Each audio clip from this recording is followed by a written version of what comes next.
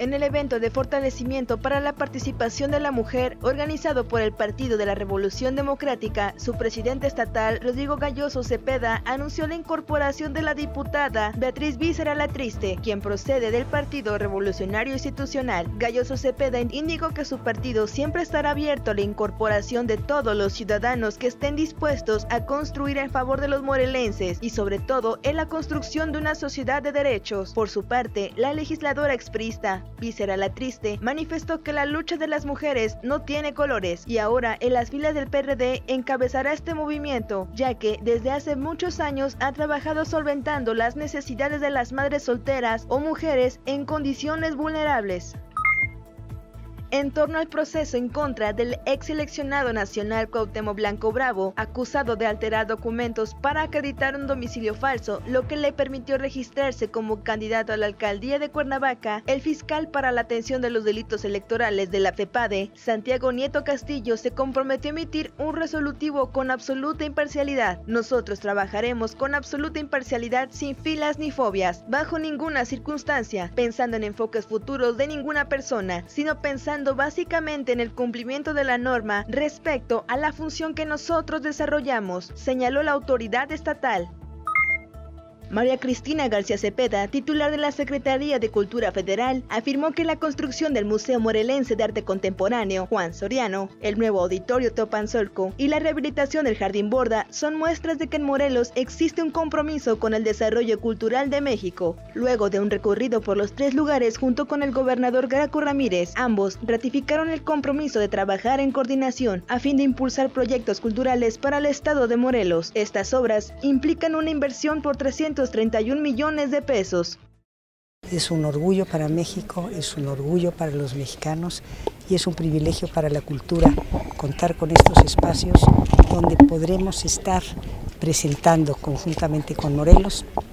actividades artísticas y culturales que vienen a enriquecer a los mexicanos.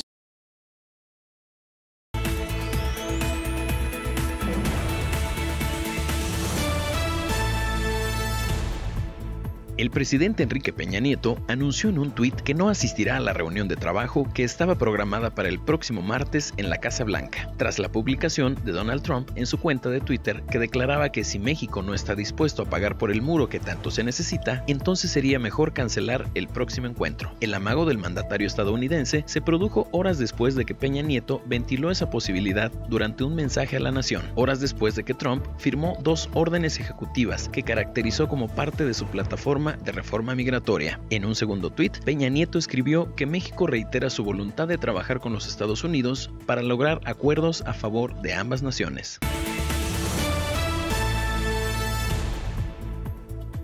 Líderes republicanos evitaron pronunciarse sobre la insistencia del presidente de Estados Unidos, Donald Trump, para que México pague la construcción del muro fronterizo. El líder republicano del Senado, Mitch McConnell, al ser cuestionado sobre si consideraba que Trump debería modificar su tono en su demanda de que México deba pagar por la construcción del muro, dijo que no tiene ningún consejo que darle al presidente sobre ese tema. En tanto, el líder republicano de la Cámara de Representantes, Paul Ryan, desestimó que la disputa puede afectar las relaciones entre los dos países. McConnell, senador por Kentucky, y Ryan desestimaron la posibilidad de que las medidas migratorias anunciadas por Trump afectarán la relación con México. La Selección Nacional de México de Fútbol se concentrará en Cuernavaca previo al partido del hexagonal final de la CONCACAF ante Costa Rica, por lo que el técnico colombiano Juan Carlos Osorio descartó que esto tenga como objetivo final sacar al equipo del Estadio Azteca en sus próximos compromisos. Explicó que los efectos de la altura se sienten al tercer día, lo cual coincide exactamente en los días de partidos, por lo que para tener una ventaja para dichos duelos se trabajará de esta forma, sobre todo si se toma en cuenta que el juego con Trinidad y Tobago será a nivel del mar. Explicó que la idea es prepararse en Cuernavaca, viajar el día de la competencia y los jugadores no se vean afectados, que juguemos de igual a igual para tener posibilidad de jugar bien y conseguir un buen resultado.